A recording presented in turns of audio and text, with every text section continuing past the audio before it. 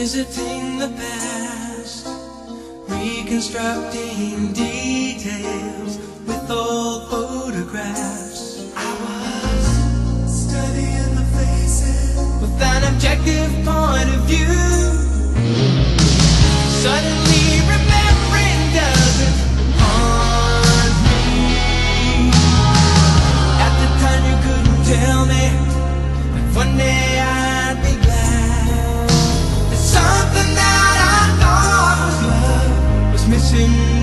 misinterpreted.